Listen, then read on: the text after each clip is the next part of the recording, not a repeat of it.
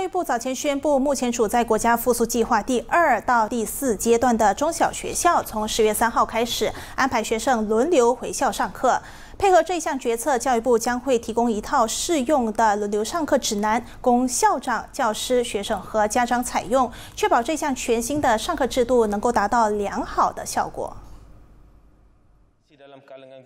教育部部长拿杜拉兹吉丁在国会下议院部门总结辩论环节回答人民公正党宾州巴央巴鲁国会议员沈志勤的提问时指出，教育部将为教师提供一份轮流返校授课指南，让教师一方面可以进行面对面教学，一方面也能够为居家上网课学生布置作业、预录教学视频或者通过 DDTV 授课。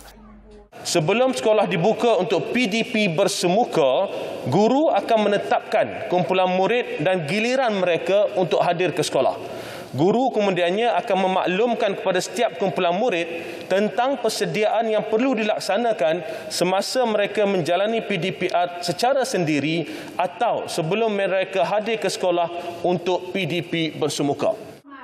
拉兹吉丁强调，对于居家上网课的学生群体，授课指南将会讲解执行网课和面对面教学的概要，包括如何根据学习主题安排课业，为学生提供学习资料参考等等。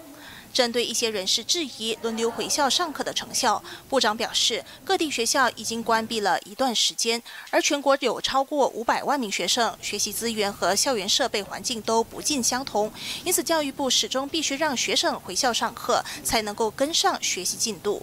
另一方面，高等教育部副部长拿督阿莫马斯里扎指出，高教部正在和大马国立大学辅导理事会合作，制定一份关注大专生心理健康纲要，以缓解学生在疫情之下面对压力、焦虑和抑郁的心理问题。这份纲要预料十月推出。阿莫马斯里扎在国会下议院表示，国立大学备有一百五十名辅导员，可以为大专生提供支援。到目前为止，国立大学已经在线推出了一百六十项压力管理活动及课程。高教部去年已经执行了两项课程，今年会执行另外五项。马新社电视综合报道。